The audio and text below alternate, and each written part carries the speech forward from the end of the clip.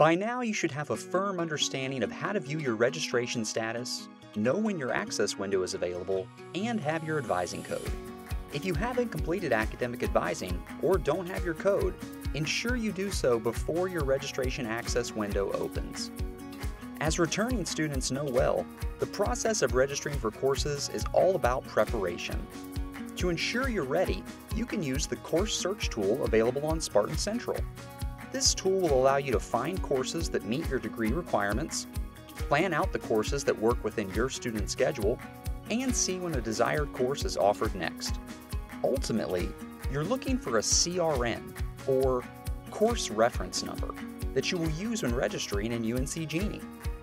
To begin looking for courses and the available schedule of offerings, select the term you need to register for.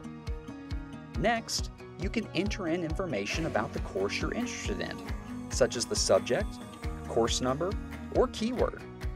If you're having trouble narrowing down the options, you can always utilize the university catalog to find identifiers about the course you're searching for. Before we get to browsing, let's open our course search into a larger window so we can see more at a glance. For simplicity, we'll use French 101 as our example search. Upon viewing the results, we can see that in the fall 2021 semester, we have eight available French 101 courses, along with details about when the class meets, whether it's online or in person, and how many seats remain available. Let's say we're looking for a class that meets in the mornings, on Mondays, Wednesdays, and Fridays. We can click into the course description to make sure it's the course that we need.